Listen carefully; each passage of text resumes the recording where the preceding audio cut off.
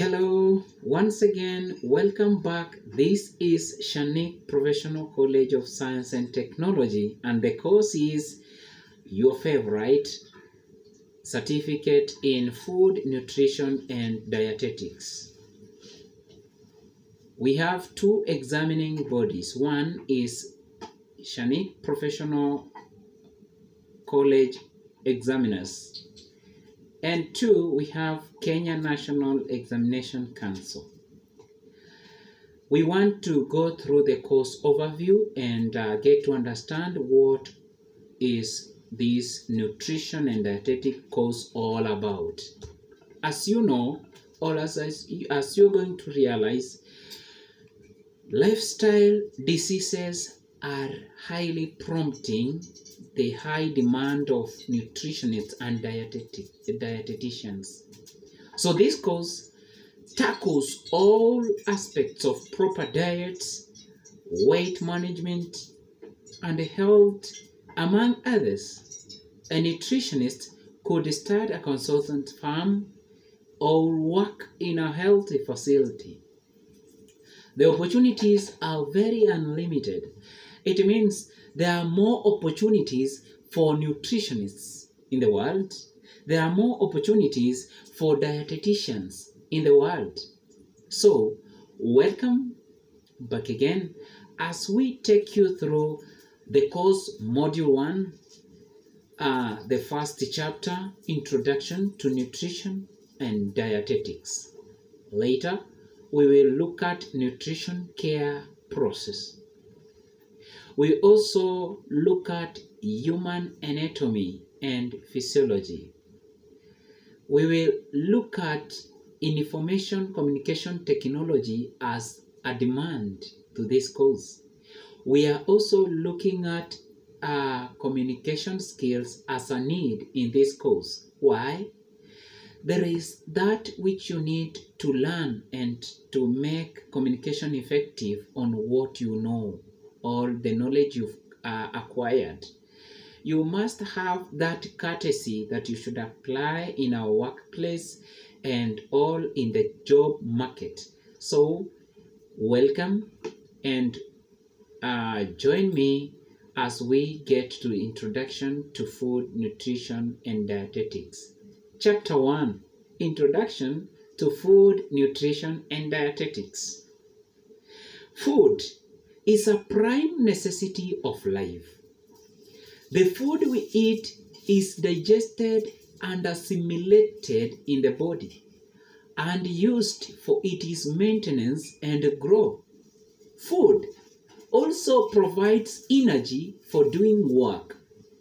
Man or humans have exhibited much thought and foresight in cultivating a variety of grains, fruits, vegetables, nuts, and oil seeds, and in rearing birds and animals for use as food.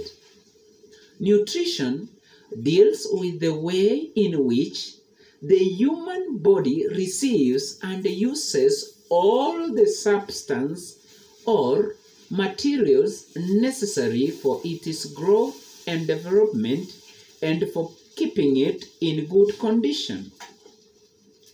This begins in eating food. The food swallowed, then digested as it is passed through the stomach and small intestines. During digestion, the food is broken up into simple substances. This, I'm sure you also were taught during the sciences in high school, the sciences in your former institutions where you've been studying basic sciences. So, welcome as we get to tackle this course to understand, to bring on board all those basic knowledge that we know, and uh, as we get to increase in knowledge on the same course food, nutrition, and dietetics. Take a breath. Whew. These are absorbed. We are talking of the simple substances that have been broken down from the food that you've taken. So they are absorbed into the bloodstream and carried to the liver, where they are either stored or changed further or sent out to other parts of the body for use as required. I am realizing something here. In in getting uh, this food utilized in our bodies, there must be a process completed. One, you must take action to getting this food to swallow it. This food must undergo a process of digestion. And after digestion, it must go through the bloodstream. The villi must absorb these food substances. They will carry the food one on one to the liver. There is a reason as to why we are introducing all this. After food has been uh, carried to the liver, they are either stored if the particles or the simple substances of food are important for the body. They are stored and absorbed to the body uh, uh, bit by bit, slowly by slowly. So, all changed further, all sent out to other parts of the body for use as required. So the body system has its own structure of absorption. So, welcome. As we get to understand now that food is very important, you see, we live, we, we, we eat to live. We don't live to eat. We eat to live. And when we have taken these substances, all the food uh, the food and uh, the nutrients, there is that uh, effect to the body which is either positive or negative. Walk with me to some definitions that are necessary during this course. One is the food we are talking about. Two, I mentioned nutrients. And three, I am talking of uh, nutrition status now. We will get to understand what we really were talking about. And don't forget that this only is found at Shanic Professional College of Science and Technology. Keep enjoying the learning. Enjoy. Enjoy it. Now, food is defined as anything solid, liquid, or semi-solid, which when ingested by putting it into the mouth, digested and assimilated, thus nourishes the body, and that is food. The again, food can be defined this way: the edible stuff that provides humans with nutrients and that is all. Edible stuff that provides humans with nutrients. Broadly, it is classified as cereals, pulses, vegetables, fruits, milk, eggs, fresh foods, fats, and sugar. That is the food we are talking about. Number two, work with me to understand nutrients.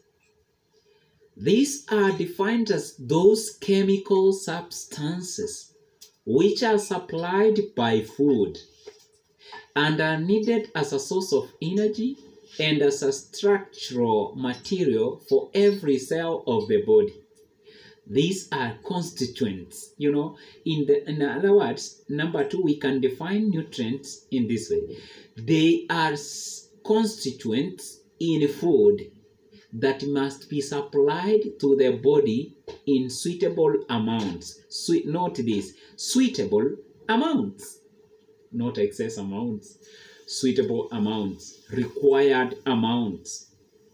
They include proteins. With time, we get to understand what the proteins are. Number two, uh, that is nutrients. We have fats, carbohydrates, minerals, water, and vitamins. Number three, definition number three, nutrition status. What is nutrition status, students? It is defined as the extent to which a customary diet meets the body's requirement. there is a customization. When we talk of a customary, from the word accustom, defined as the extent to which a customary diet meets the body's requirement. In other words, it, it, signif- signifies the condition of the body after the consumption of food. Yeah. So, nutrition status, I can now add as a definition. It is the condition of the body after consumption of food. That is the nutrition status. Maybe there might be other ways you can define this, but I've given you the best, the best two to be taken as your choice. It can be assessed, you know, there is assessment. We are coming to assessment. The condition of in- individual individual's health influenced by the utilization of nutrients. Is also another definition.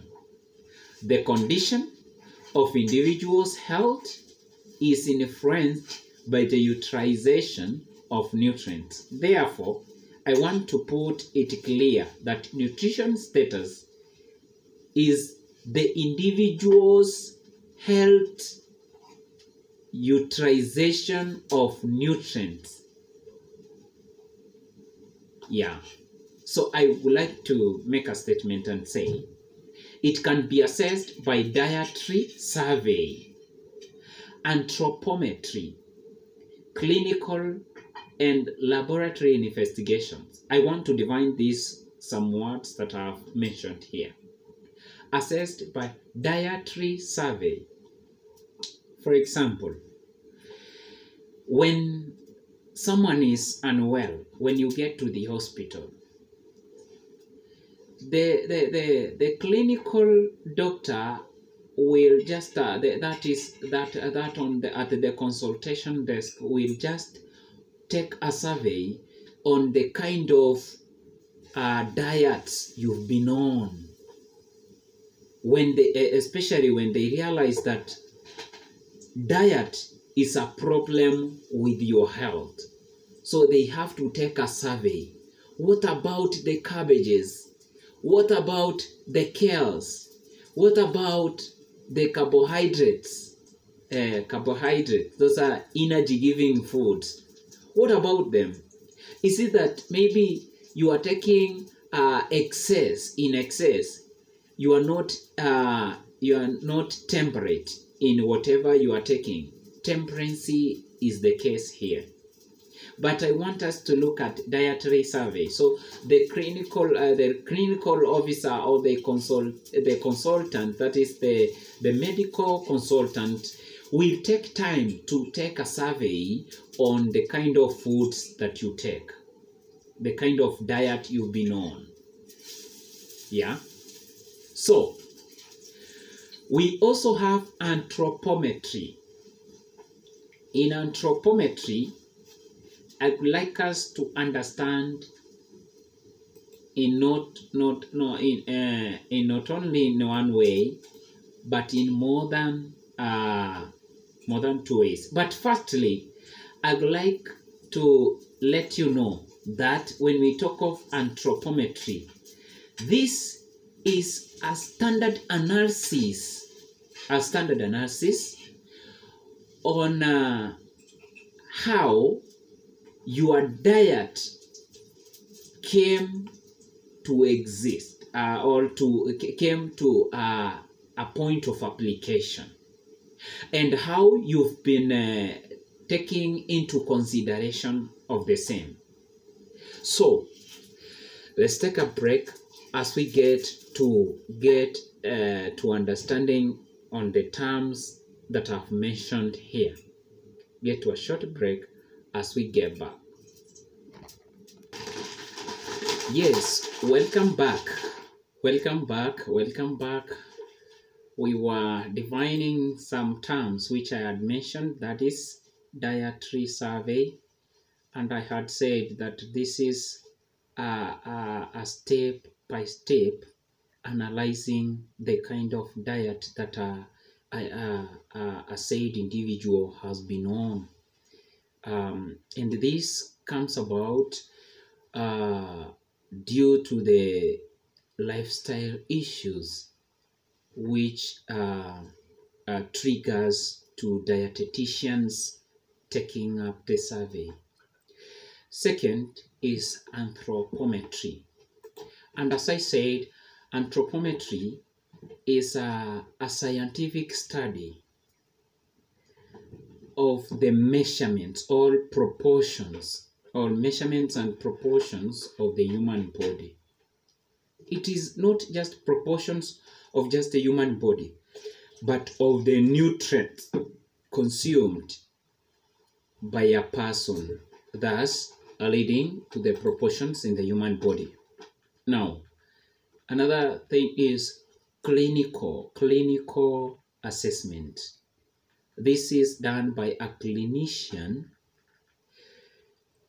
uh, interrogatively doing an assessment to be able to come into a conclusion of what issue the body is suffering from or the challenge rather an individual is having that is caused by the diet. And lastly, laboratory investigations. This is uh, a state where samples are taken to the lab for investigations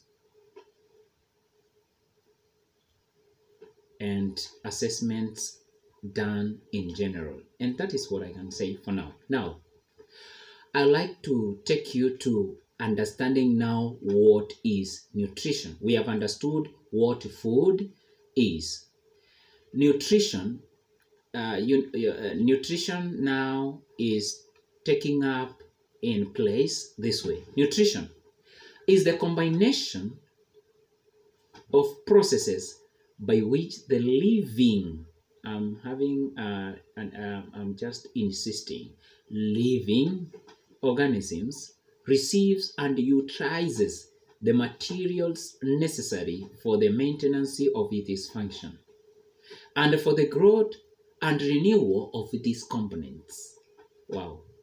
So there is a combination of processes, nutrition, by which living organisms receives and utilizes nutrients, thus nutrition. Nutrients necessary for maintenance and function and growth and renewal of the body cells, thus body parts, thus body components. Yeah.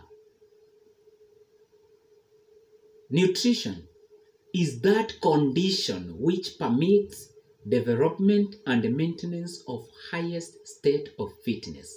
And this comes up as the best definition for you that you can, you know, guess easily and get and make yourself comfortable. You don't have to take up a story, you know.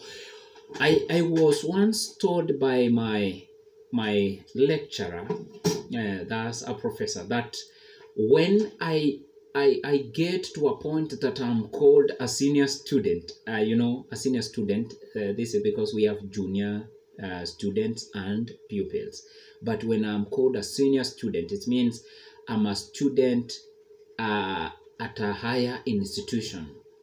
Uh-huh. When you are upgrading, you don't have to copy and paste statements. You need to come up with a way that you can make uh, statements uh, to be perceived as original. You must be real. You must be original in your statements. So I want to give you a challenge. We have said nutrition is a, combi- is, is a combination of processes by which living organisms receives utilizes materials necessary for maintenance and function and growth and renewal of its components. Wow. And I wanted to make it easier for uh, humans by saying nutrition is that condition which permits the development and the maintenance of the highest state of fitness that is nutrition.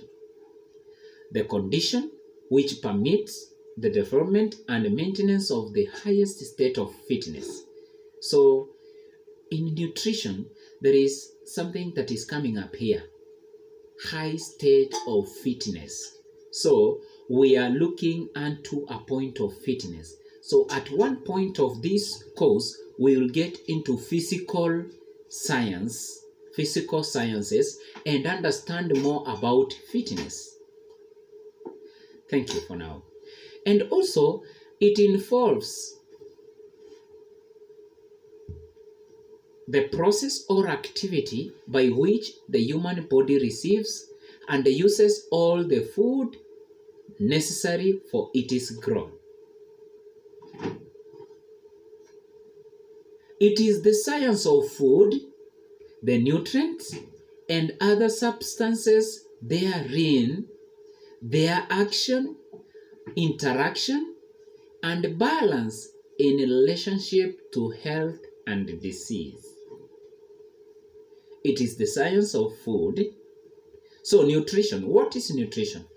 Is the science of food, nutri- nutrients, and substances therein, their action, interaction, and balance in relationship to health and disease. At least by now, food, nutrition, and dietetics is now clear. We are looking at the science of food, the nutrients and substances in that food, their action and interaction inside the body, the balance in health against diseases that is nutrition. We will look at the history of nutrition briefly as we prepare uh, for the next lesson. In our, uh, in our, uh, as we prepare for our next lesson, we want to look at history of nutrition. Briefly, nutritional discoveries from the earliest days of history have had a positive effect of, on our health and well-being. I have a table that I'm going to post to your class wall and you will analyze later.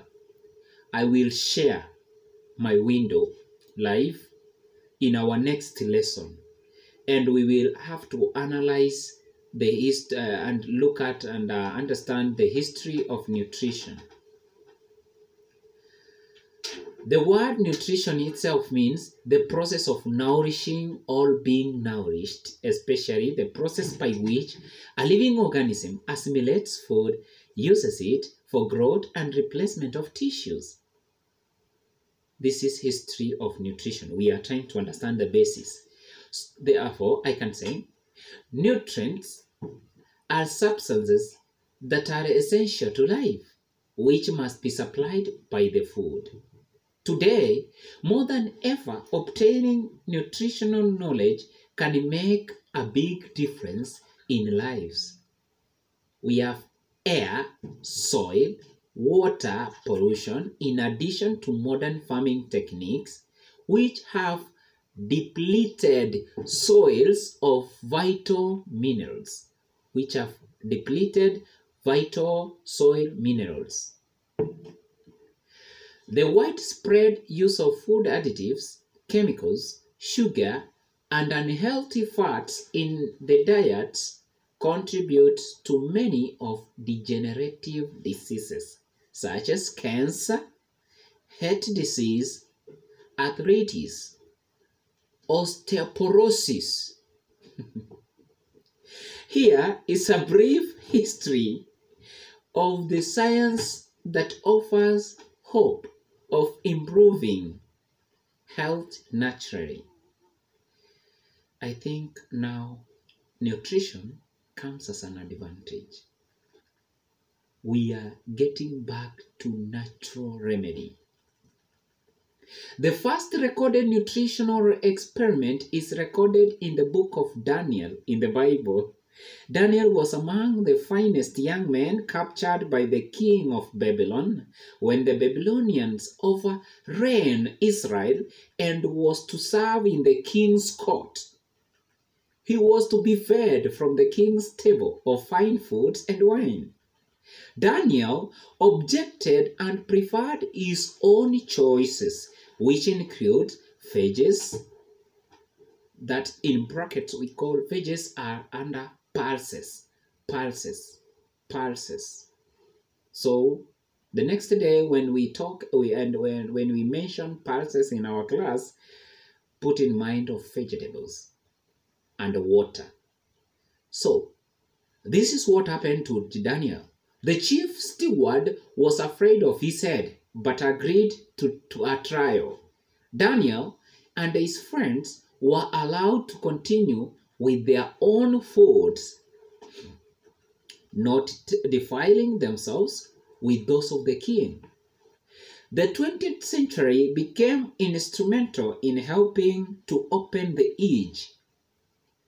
Babcock, better known for Babcock test for milk fat that bears his name, and conceived the idea to feed dairy cattle from just one source, all corn plant or all wheat plant. I'm just mentioning someone here. We are looking at the history of nutrition. Number one, from the book of Daniel,